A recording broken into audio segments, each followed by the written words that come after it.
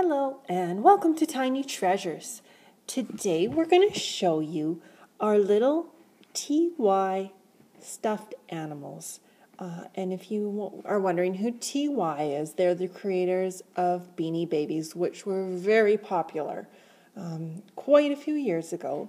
And now these little animals have made a comeback um, at schools, we see all the little kids, and they each have their own character. And in every toy store, you see these usually in the front um, display.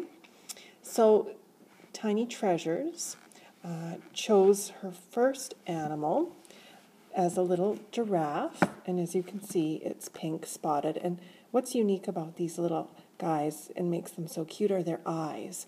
And I don't know if you can see the sparkles in the eyes there's purple sparkles all the way around. Very, very soft. Little purple ears, and of course, the glittery little feet. And they each have their unique name, just like the Beanie Babies. And this little giraffe's name is Twigs. So cute.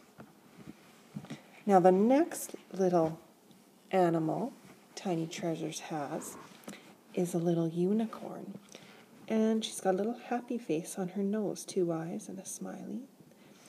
Again, the purple sparkly eyes, little unicorn horn, little soft purple hair on the back.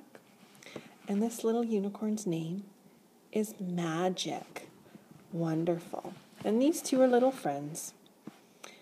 And every so often we have to give them a wash because they're played with so much that they get dirty.